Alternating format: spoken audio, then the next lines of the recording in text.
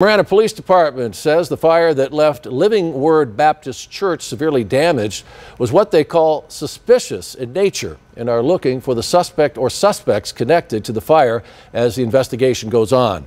Northwest Fire District says it started a little after 10 o'clock last Friday night near Grier and North Sandario roads.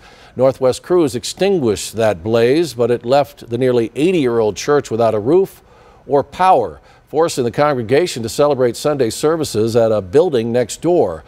Both Northwest Fire and Marana Police have not confirmed arson as the cause and have not released any information on potential suspects. They're asking anybody with information to call 911 or 88 crime. We're also told the church has set up a P.O. box for donations. For information on how you can help, visit our website, kvoa.com.